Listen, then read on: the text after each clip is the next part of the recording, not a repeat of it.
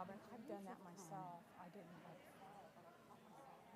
She will stick on my leg. Like three times so hard. And I saw her shoe literally get like stopped, but she kept going and she off. Who was that? Robin. She just fell. Oh, she. I was talking to her. Yeah. You Oh, she, yeah, yeah, she is. She's like broken her little hip. She's, she's okay.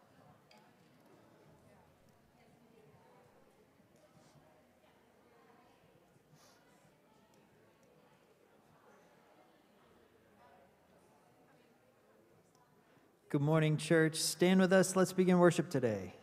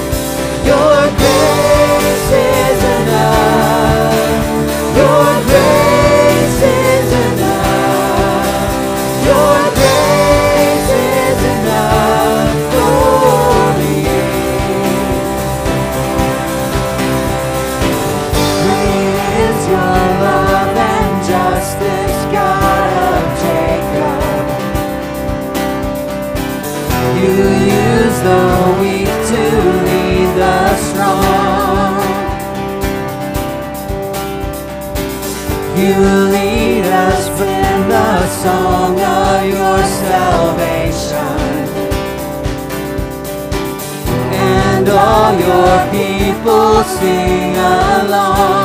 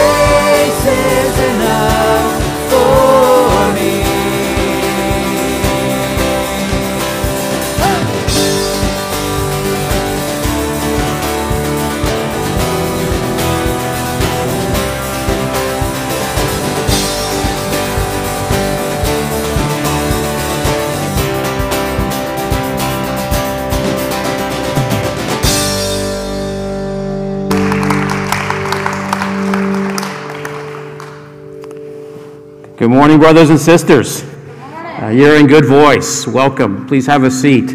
We want to welcome all those who are here with us in the worship center on May the 2nd, all of our friends, brothers and sisters worshiping at home on live stream. Uh, so glad to have all of you with us today. I love that song. I love the fact that it just affirms that His grace is enough for every one of my needs, right? My biggest need is salvation and forgiveness. And that's the greatest need that he's met, of course, through his atoning death on the cross on our behalf. I was walking through a Panera recently and noticed a neighbor of one of our senior adults, and I just said hi to this lady. She was there with three other ladies, introduced me. And this lady said that she missed our friend Diana Bush. And I said, I do too. But one of these days we're going to see Diana. And, I, and she said, Well, how do you know for sure? And I said, Because Diana knew Jesus, and I know Jesus, and one of these days we're going to see each other again. Amen? I started to walk away, and the Lord said, You're not done yet. Walk back. Her name is Carol. I said, Carol, let me remind you, this is the best deal in town. This is the best deal in town. Forgiveness of sins, grace that is greater than our sin, and the promise of heaven is the greatest thing. Amen? So his grace is enough. It's over the top, more than we will ever, ever need. We want to invite you this morning to take spiritual steps in your heart, in your mind, toward the Lord's table, toward communion. So if you would find your cup and prepare for just a moment as we want to give you the, the cue. The Apostle Paul tells us in 1 Corinthians 11 28 that before we drink the cup, before we eat the bread, that each person should examine his heart. The word in the text actually means something stronger than our English word examine. It means test, it means to rigorously examine. This is around the idea of confession. One of the problems in our culture, brothers and sisters, is nobody's responsible anymore for their sin. We know we're sinners. Amen. And so before we come to the bread and the cup this morning, we should examine our hearts and enter into a wonderful time of confession of sin. So I'm going to lead us in a prayer of confession. We've been praying for several months that Pastor Paul has been leading us in. We'll pray that prayer aloud, and then we'll pause for a few seconds of personal confession. You might say, Well, Tim, what are you talking about? Well, whatever that thought or action was yesterday, whatever you've struggled with in your flesh already today, whatever it is that constantly hinders your joy, silently speak that sin, name it, speak it to the Lord, and ask Him to forgive you. Read this prayer with me, friends. Read it aloud. Most merciful God, we confess that we have sinned against you in thought, word, and deed by what we have done and by what we have left undone. We have not loved you with our whole heart. We have not loved our neighbors as ourselves. We are truly sorry, and we humbly repent for the sake of your Son, Jesus Christ. Have mercy on us and forgive us, that we may delight in your will and walk in your ways to the glory of your name. Amen. Would you bow your heads? And just be silent before the Lord as you confess your sins.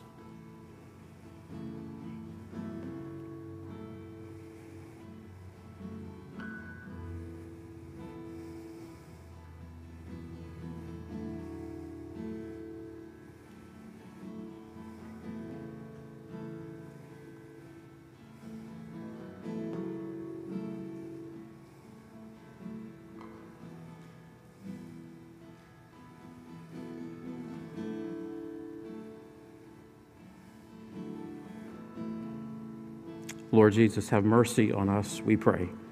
In your holy name, amen.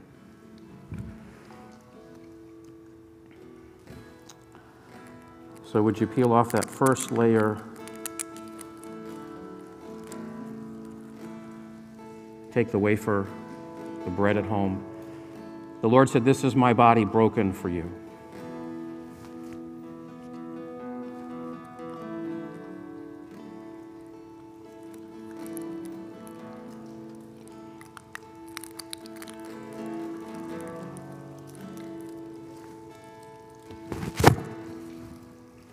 And now the cup, this powerful symbol of the blood that disinfects our hearts and scrubs us clean. We praise him for forgiveness through his blood.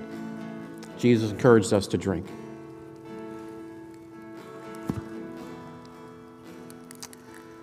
And all the believers said, Amen. Praise the Lord. Would you stand as Paul leads us again to sing?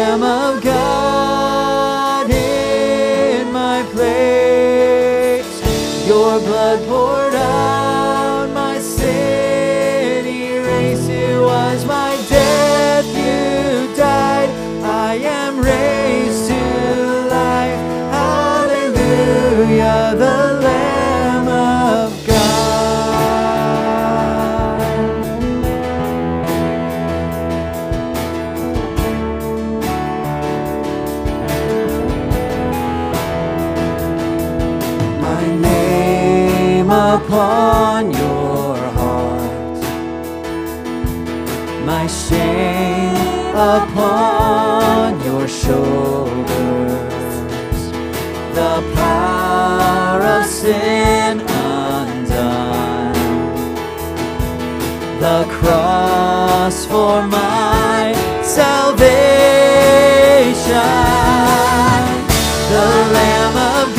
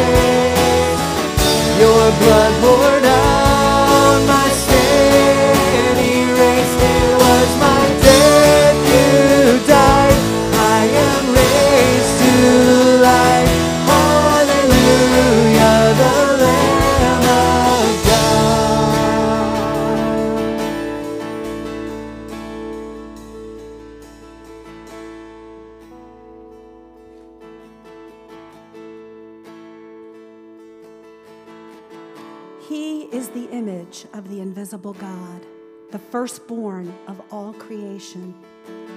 For by him all things were created in heaven and on earth, visible and invisible, whether thrones or dominions or rulers or authorities. All things were created through him and for him. And he is before all things, and in him all things hold together. And he is the head of the body, the church. He is the beginning, the firstborn from the dead, that in everything he might be preeminent. For in him all the fullness of God was pleased to dwell, and through him to reconcile to himself all things, whether on earth or in heaven, making peace by the blood of his cross.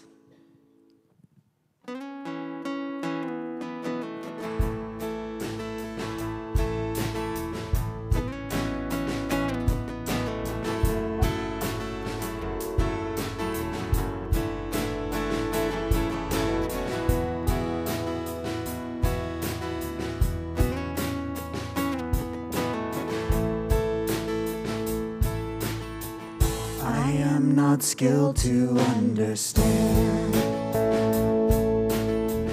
what God has willed, what God has planned.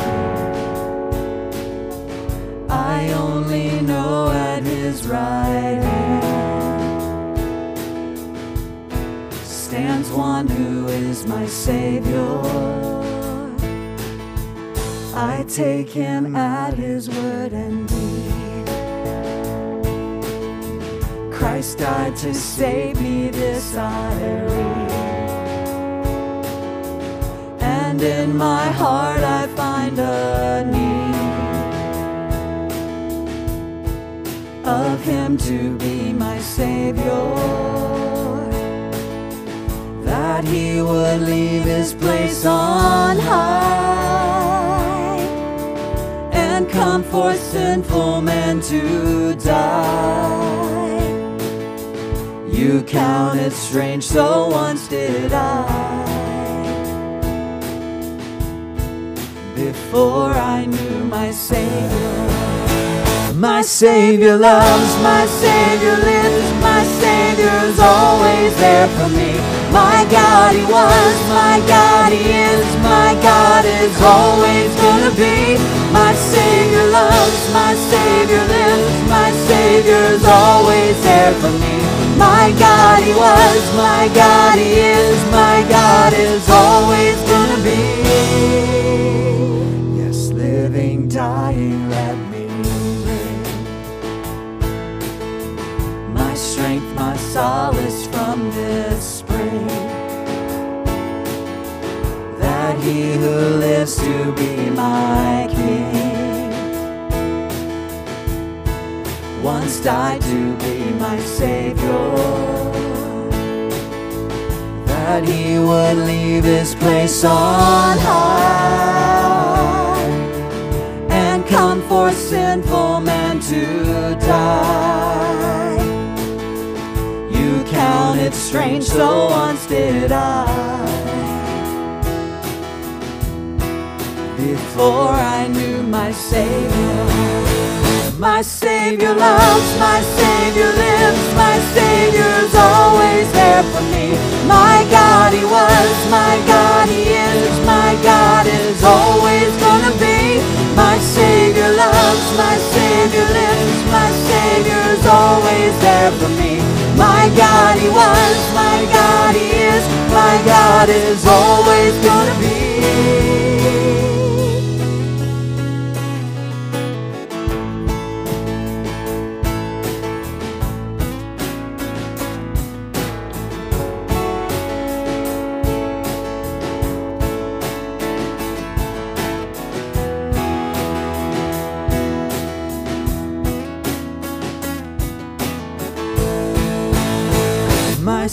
Savior loves, my Savior lives, my Savior's always there for me. My God, He was, my God, He is, my God is always gonna be. My Savior loves, my Savior lives, my Savior's always there for me. My God, He was, my God, He is, my God is always gonna be. My Savior loves, my Savior for me. My God, He was, my God, He is, my God is always gonna be. My Savior loves, my Savior lives, my Savior's always there for me. My God, He was, my God, He is, my God is always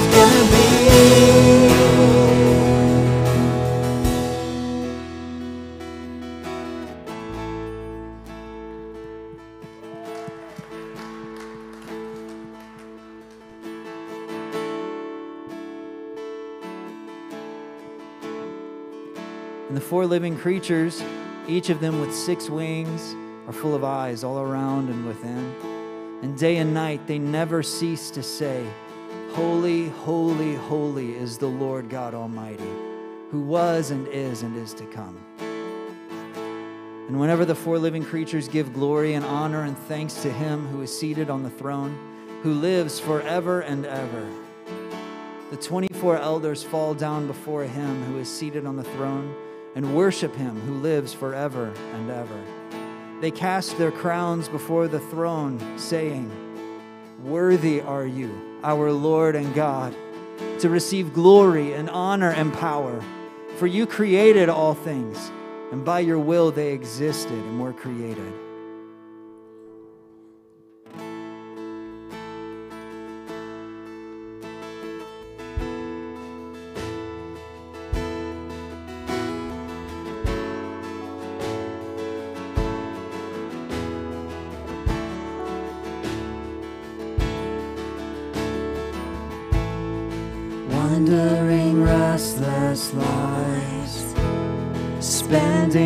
Our days in darkest night, needing a rescue, wondering how we would survive.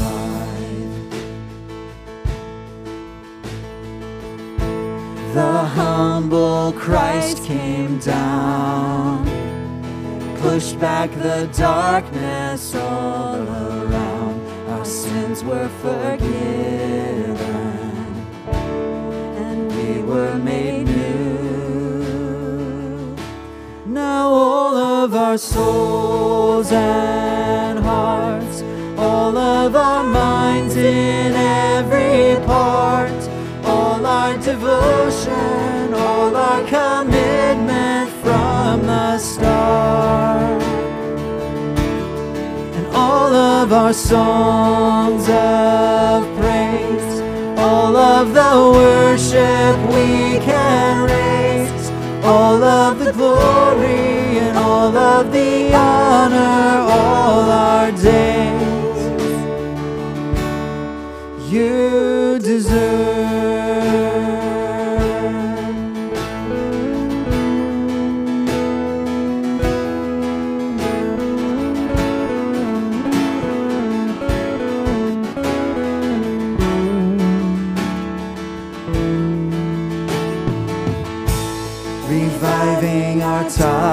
Tired souls. Jesus sustains us through it all, helping us walk on that beautiful, blessed, narrow road. The grace of Christ now stands as our only sure foundation. He's our only refuge. He's our only hope and all of our souls and hearts, all of our minds in every part, all our devotion, all our commitment from the start. And all of our songs of praise, all of the worship we raise, all of the glory and all of the honor, all our days. You deserve.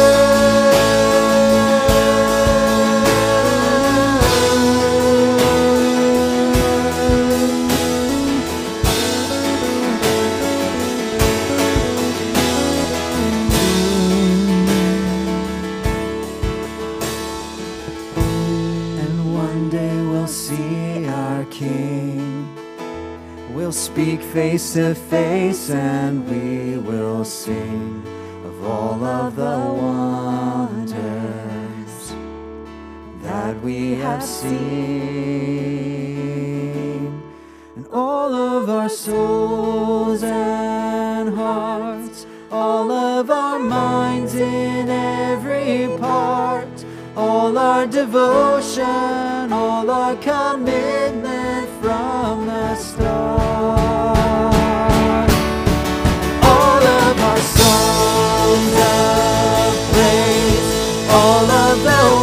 worship we can raise all of the glory and all of the honor all our days. You deserve.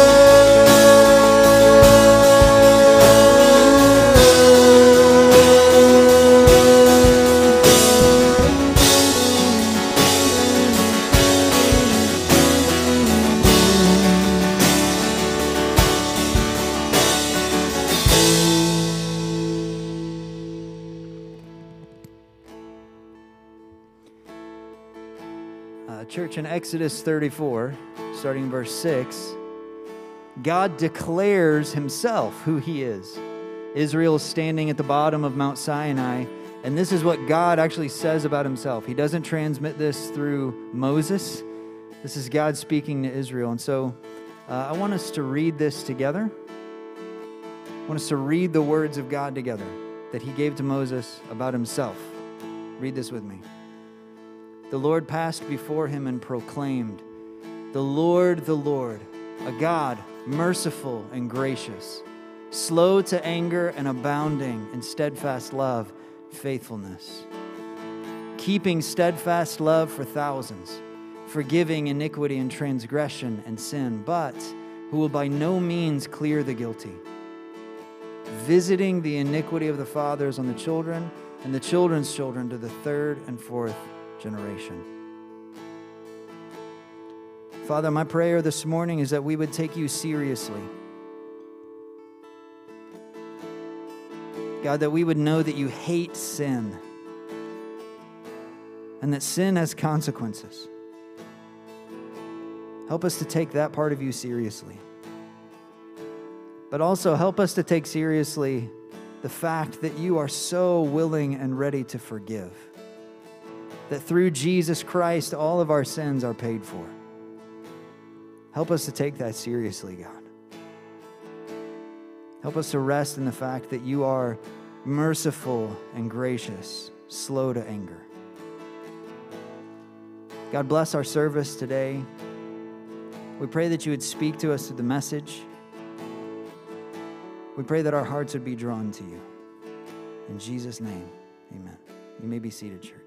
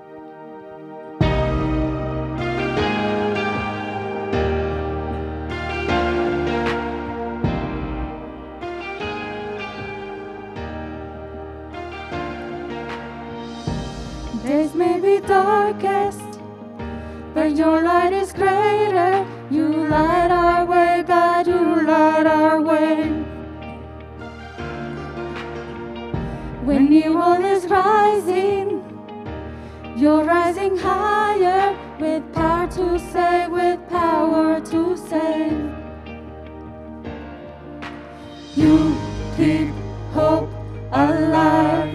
You keep hope alive from the beginning to end. Your word never fails. You keep hope alive because you are alive. Jesus, you are alive.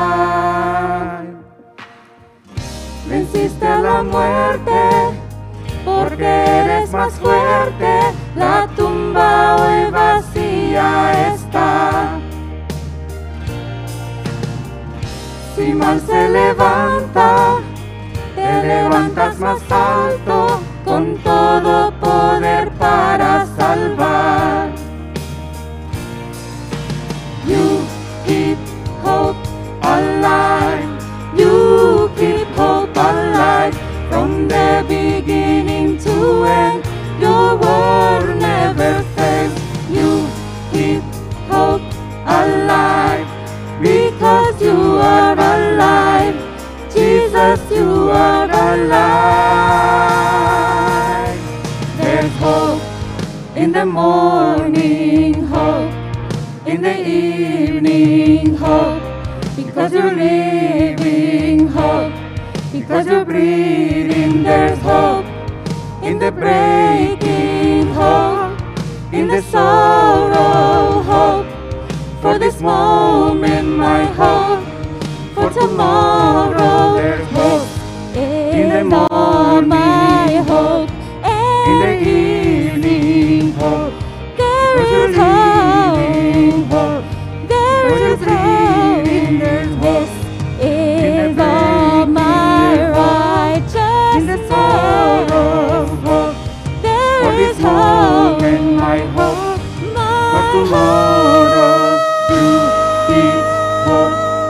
Alive. You keep hope alive from the beginning to end. You will never fails. You keep hope alive because you are alive. Jesus, you are alive.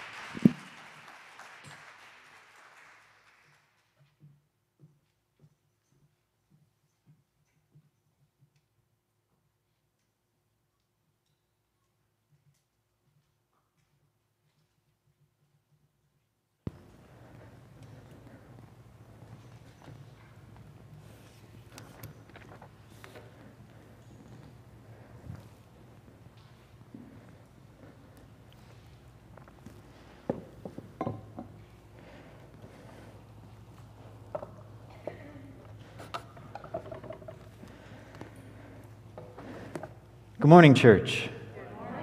Let me pray for us.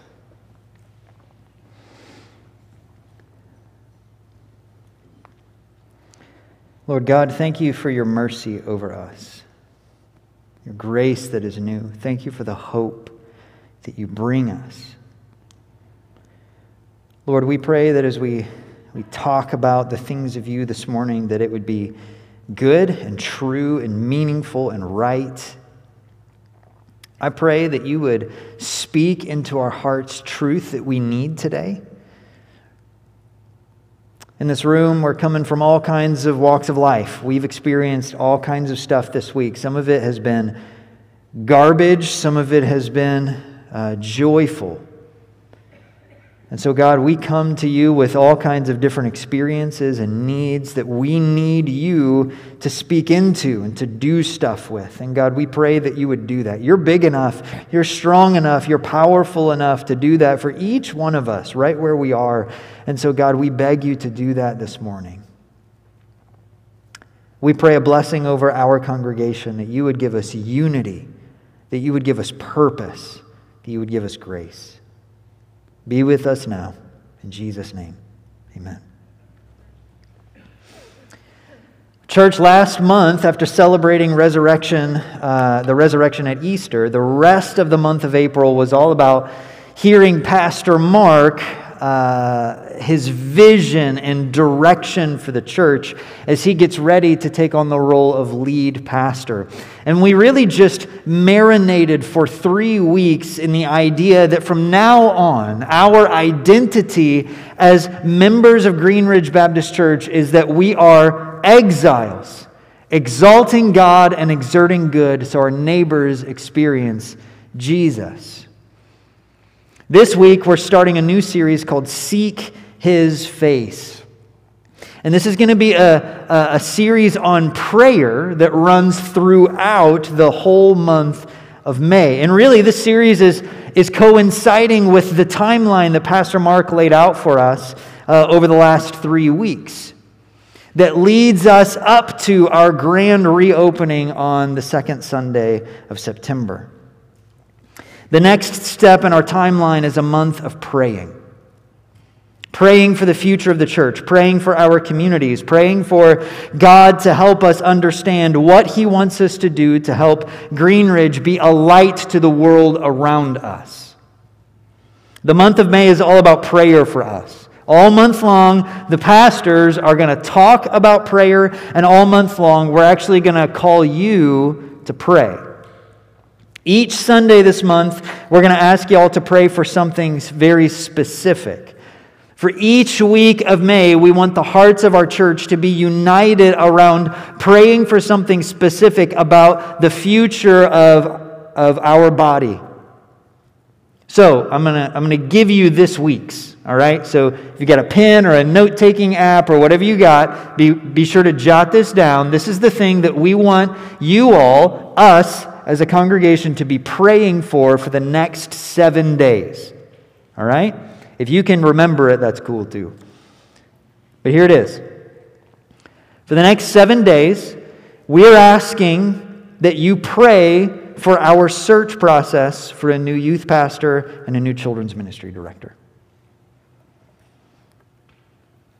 Two huge positions that we have to fill as a congregation as we move forward into this new vision. And um, the youth pastor search is, is moving right along, and I, I, hope that within the next month or so, I've got more information to share with you. Um, the children's ministry director search is actually just starting. So both of those processes need prayer. And the pastors are asking you over the next seven days pray for those. Pray for those things. Pray that God would send us the people who will fill these roles perfectly for us for the glory of God. Pray that all the people involved in the processes would have wisdom and discernment and unity about how to move forward. And pray that we would make decisions that are pleasing to God and a blessing to the church. All right, so that's your prayer task for this week. You'll get a new one next Sunday. For the message today, I was tasked with just introducing us to prayer. My goal was to answer the question what is prayer? So we're starting real basic, right? Just the most fundamental starting place for any topic. What is it? And before we get too far, I'm going to be really honest with you about something, about my relationship with prayer. And what I'm about to tell you is something that some of you may actually be really disappointed about. Some of you may actually be a little bit offended by. And I don't mean to offend you and I don't mean to disappoint you, but I do want to be honest with you about about something. Um, so just brace yourselves, okay? Here it is. I don't really like praying. And in fact, praying is one of those spiritual disciplines that I have really wrestled with for a long time. And part of the reason that I wrestle with it is because I have a, I have a really high view of how awesome and powerful and good God is. And I mean, like, I trust Him to do what's best for the kingdom, and I trust Him to do what's best for me. And there are times when I think, why do I need to pray? God can do whatever He wants, He doesn't need to listen to me. And I'm good with God doing whatever He wants. That's fine. I'm okay with that. And I'm not saying that I don't pray. What I am saying is that prayer is something that I really have to work at. And I tell you all of that for a couple of reasons. One of them is that I think it's really important, and this is like a side topic that we could talk more about later, but I think it's really important for all y'all to remember that pastors are just people. We're not spiritual rock stars, okay? We don't have all of this stuff figured out. Never, please, never put us on a pedestal. Jesus Christ is the only one who should ever be on a pedestal. Amen? We are human. We have struggles. We have failures. There are some things in our walks with Jesus that we struggle with that you guys don't have any problems with.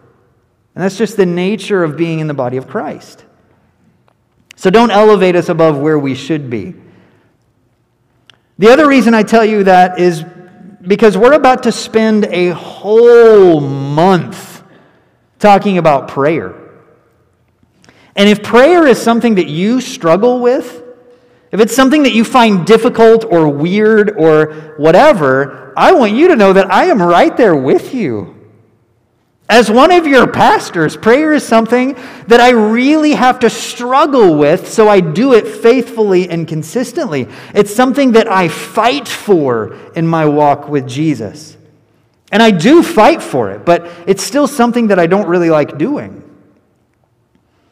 So when I talk about what prayer is today, when I, when I, when I give you my thoughts on prayer and guidance on prayer, I'm not doing it from the place of a know it all.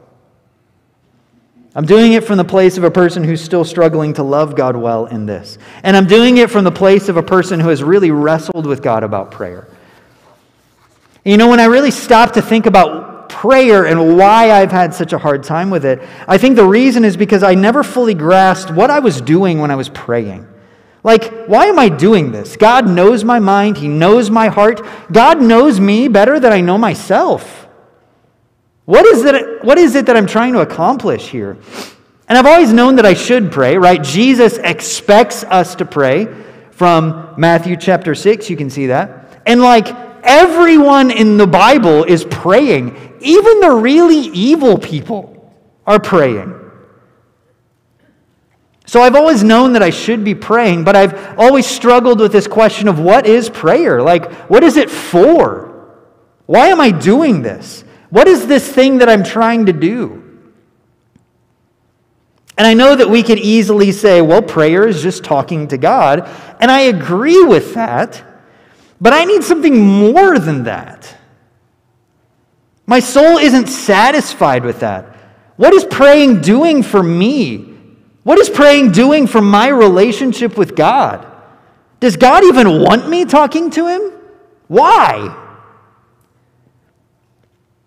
And as I've thought through the idea of prayer, as I've read the Bible and talked with brothers and sisters in Christ and read books about prayer, I think I would boil the what of prayer down to this prayer is pursuit. Prayer is a running after something. When we pray, we set out on a journey for a very specific purpose. We have a very specific destination in mind when we set out to pray. When we pray, we engage in a pursuit. We're chasing something. And I think that biblical prayer is a pursuit of at least three big things. Prayer is a pursuit of God. Prayer is a pursuit of godliness, and prayer is a pursuit of grace. For the rest of our time, I want to unpack these things for us this morning. All right? Prayer is a pursuit of God, prayer is a pursuit of godliness, and prayer is a pursuit of grace. So let's start with the first one prayer is a pursuit of God. So, this is pretty much the most fundamental thing that you can say about prayer. Everything else that we could say about prayer flows from this idea that when you sit down to pray, or when you're praying in your car, or on your morning walk, or over your ham sandwich at lunchtime, whenever you're praying, you are fundamentally at rock bottom, setting out on a journey in pursuit of God. When you pray, you are chasing after God. When you pray, you're putting your heart, mind, and body in a position of seeking out someone who is greater than you are. And when we think about biblical prayer, when we think about everything that we know about our good God from what He has revealed to us about Himself in the Bible, we know that Christian prayer, biblical prayer, really begins with an invitation from God to know Him. Prayer begins with the understanding that God has invited us to pursue Him. He wants us to chase after Him and to know Him. Well, how do we know that? Well, as I'm reading the Bible, I'm always seeing God either engaging in relationship with people or even explicitly inviting people into relationship with Him. We can go back as far as Adam and Eve. God talked with Adam and Eve. God even became physically present somehow in the garden and walked with Adam and Eve. And I'm not even 100% sure what that means, but that's what Genesis tells me. He was there, He was with them. And if we take Genesis 1 and 2 as giving us the picture of how God intended for creation to exist, then God being with us and us being with God must be the way that God wants us to live. God wants us to be with Him. God wants us to pursue Him and to be in relationship with Him. And we don't have to stop at Genesis 2. We can move through all of the people who had intimate, active prayer lives with God. Like, just start naming people. Abraham, Isaac, Jacob, Moses, Joshua, Deborah, Hannah, Samuel, David, Solomon, Ezra, and so many other people. All of these people display for us a life that is filled with pursuing God through prayer. And when we read about these folks praying, God is pleased with them when they pray. Often in the Old Testament, the act of crying out to God with your words and with your emotions is depicted as one of the most holy things that a person can do. Prophet after prophet calls on the people of God to cry out to God in repentance and praise. The people of God are constantly called to pursue God through prayer. And then we come to the New Testament where the call to pray just never stops. In the Sermon on the Mount, Jesus assumes that we, as God's people, will be praying. Jesus himself lives this out. So many times throughout his ministry, he would go off by himself so that he could pursue God alone in prayer. In Acts 2, we hear that the disciples devoted themselves to the apostles' teaching and the fellowship, to the breaking of bread, and to prayer. The Apostle Paul says over and over again pray, pray, pray. In Romans 12 12, he says, Rejoice in hope, be patient in tribulation, be constant in prayer. Pray without ceasing, he says in 1 Thessalonians 5. And the fundamental idea underlying all of these calls to prayer and all of these examples of prayer is the idea that God is our God. And He has made us in a way that we can commune with Him.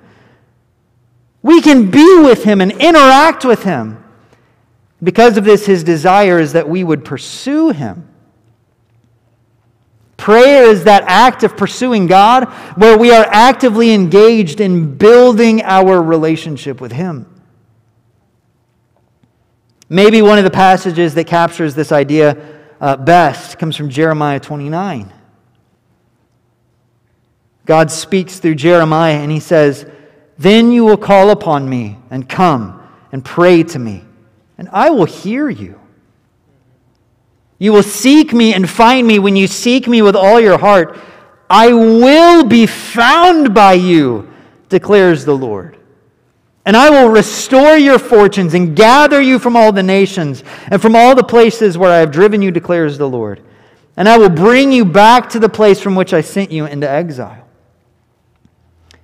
Now, of course, we shouldn't take this out of context, right? We know that this passage was written specifically to the Jews who were in exile in Babylon. This promise that God would restore their fortunes and bring them back to their land, that's a promise for those people. At that time, those are not promises for us. But what I think does apply to us in this passage is that God has consistently told his people that when we seek him, we will find him. When the people of God pursue God, God lets them catch him. He wants to be pursued by us. He wants to be found by us. He wants to be known and loved by you through your prayer. A huge part of pursuing God is engaging in this act of prayer. Prayer is a pursuit of God. Prayer is also a pursuit of godliness. For those of you who took my class on spiritual disciplines, a lot of this is going to be a review for you. But, church, prayer is one of those tools that God has given us to shape our souls to look more like Jesus. 1 Timothy 4, verses 7 and 8, the Apostle Paul says, Rather, train yourself for godliness. For while bodily training is of some value, godliness is of value in every way, as it holds promise for the present life and also for the life to come. In these verses, the Apostle Paul not only tells us that training for godliness is one of the best things we can do for ourselves, he's also implicitly telling us that there's actually training for godliness. There's actually stuff that we can do to prepare ourselves to be godly. Being like Christ isn't something that we just wake up to one day. It's, it's not just something that just happens. You have to train for godliness. Over in 1 Corinthians 9:27, Paul gives us a, a, little snapshot of his uh, training for godliness. He says, I discipline my body and keep it under control. I think I originally learned this verse in the NIV, and it says, I beat my body into submission,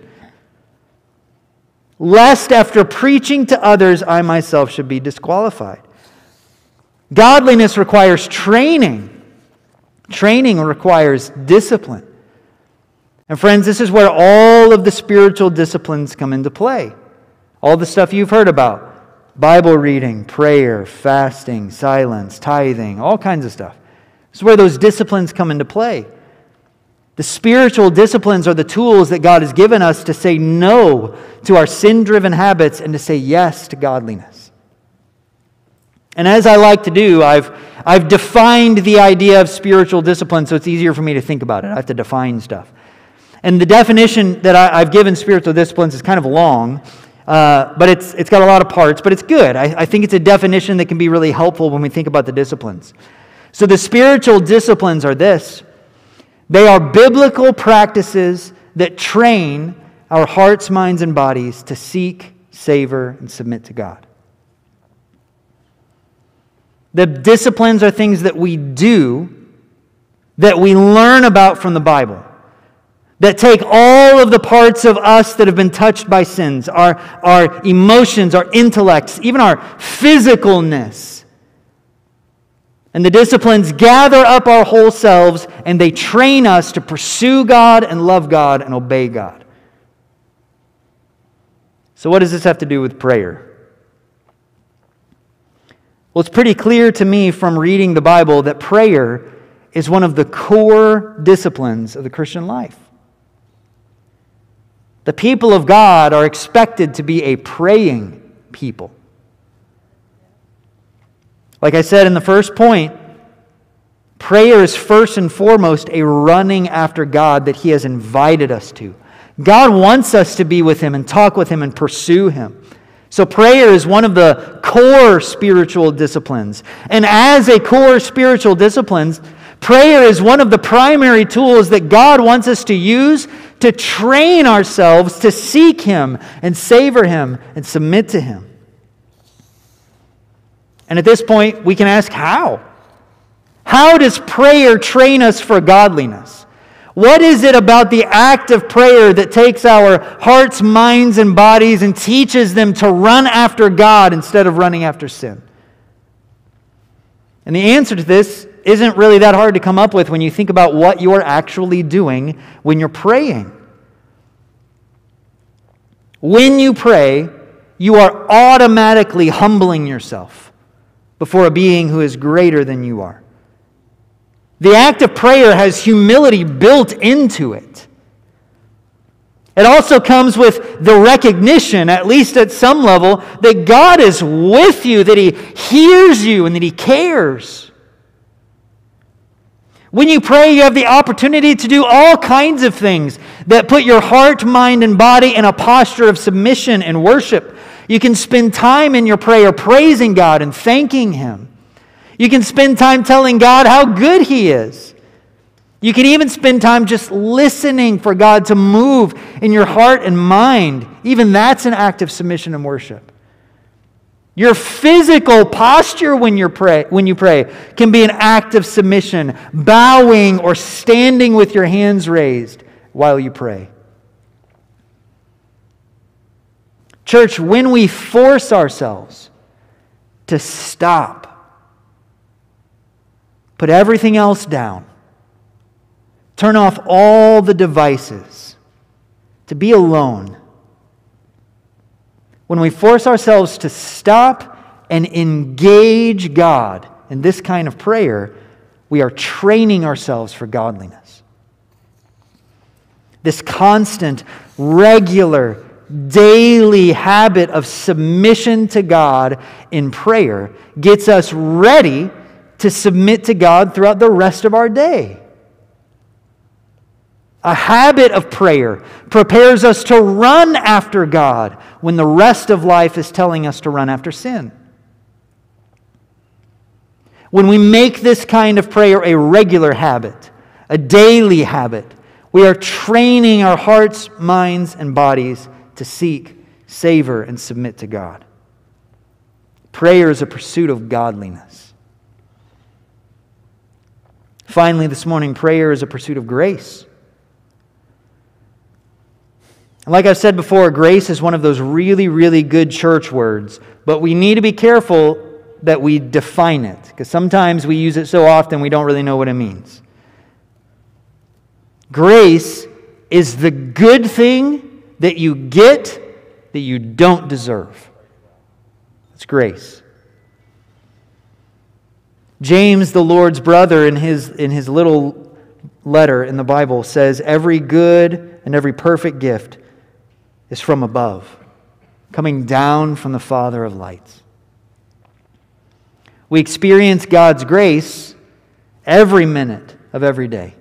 These breaths that we're breathing these neurons that are firing, the provisions that we enjoy, the beautiful weather, whatever it is.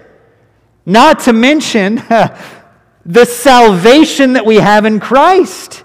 All of this is God's grace.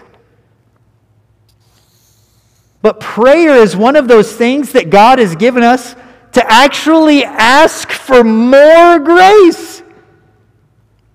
Can you believe that? God already gives us grace upon grace, and yet He's given us a way to ask for more from Him. An easy place to see this is from the Lord's Prayer that we've been praying over the last couple months. Look at it again and look at everything that Jesus told us to ask for. Look at all of the grace in this prayer. He says, Our Father in heaven, hallowed be your name. He says, Make your name holy. Make it holy in my life. Help me to honor your name as holy. That's asking God for grace. Your kingdom come. God's kingdom of peace and justice and wholeness and goodness. God, bring that here. We want it, please. That's asking God for grace. Your will be done on earth as it is in heaven. God, make what you want happen here just like you do in heaven. Align people's hearts and minds with what you want. That's asking for God's grace. Give us this day our daily bread. Grace. Forgive us our debts as we also have forgiven our debtors. Grace. And lead us not into temptation, but deliver us from the evil one. Grace and grace. Jesus Christ Himself has demonstrated for us that prayer is a pursuit of grace, it's a running after grace from God. When we pray, we are running after and seeking out God's blessing and protection and provision. And this is good. It's right for us to do this. God wants us to do this. And this doesn't mean that prayer is some blank check that God hands you to just write down whatever you want on it and God will give it to you. It's not how prayer works. Remember, prayer is also a pursuit of godliness. While we are asking for God's grace, God is also shaping our desires around what He wants. Again, James writes, You do not have because you do not ask. And you ask and do not receive because you ask wrongly to spend it on your passions. Prayer is not ask for whatever you want. Prayer is a tool that God has given us to ask for more of His grace in our lives. So, church, prayer is pursuit. It's a pursuit of God, it's a pursuit of godliness, and it's a pursuit of grace. And I think this is a pretty good place for us to start when we're thinking about what prayer is. But now, we do need to ask ourselves what do I really think about prayer? Examine that in your head and your heart. What do you really think about prayer? How do you approach prayer? What do you actually think you're doing when you pray? Ask yourself those things. Especially if you struggle with praying. Church, prayer is a gift. Do you think about it as a pursuit of God? Do you treat prayer as a response to God's invitation to you? God's invitation is open to you to come and to just be with Him, to talk with Him and know Him and hear from Him through prayer. Take hold of that opportunity.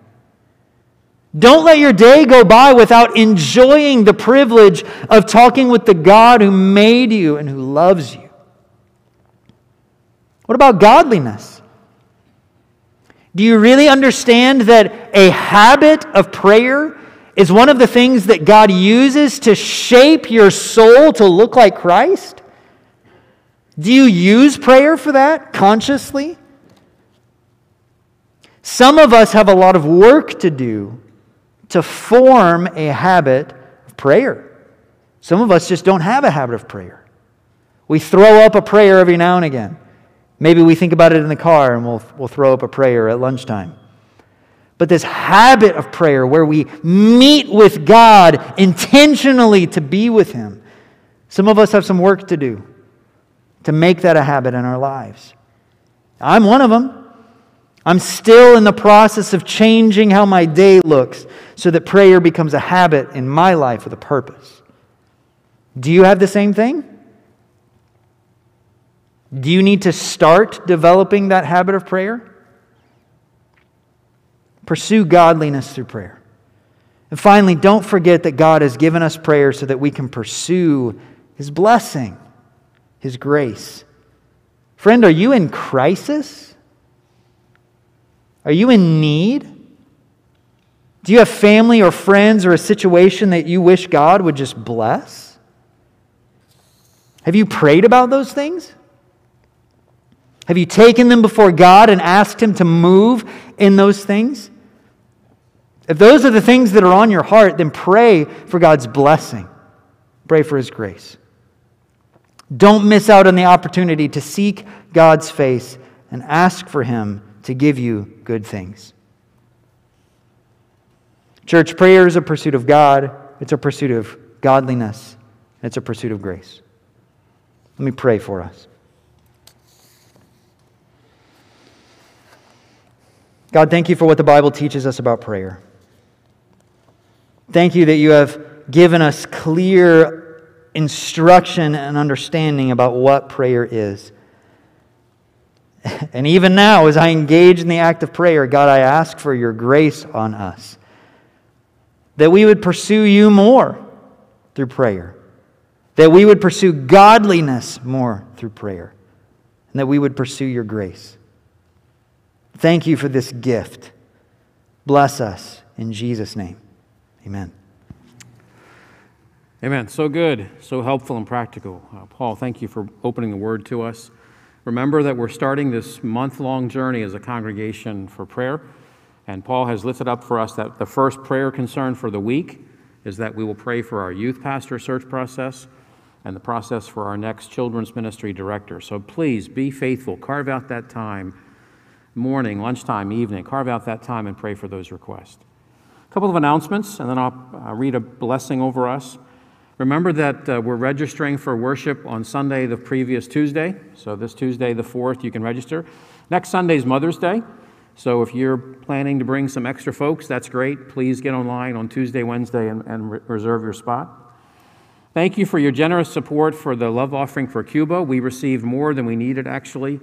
And uh, this brother that I met several years ago will now have a- an electric utility vehicle that he can use in all of those villages uh, east of Havana as he shares the gospel and takes food and other things, Bibles, to house churches. Um, two weeks from today, we'll have a business meeting at 11:30 via Zoom uh, to hear the latest financial report and some recommendations from Arthur Cups, our stewardship leader, about some surplus funds God has provided. So that'll be at 11:30 on the 16th. All right, would you stand, please?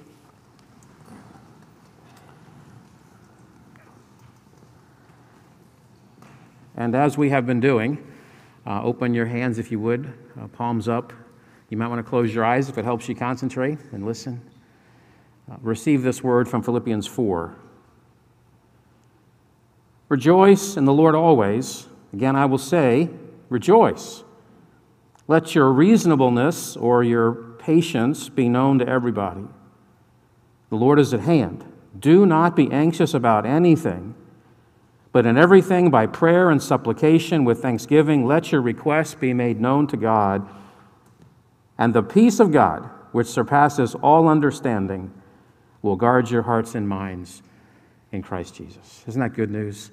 Amen. Have a blessed day. Pray, pray, pray. Enjoy your day.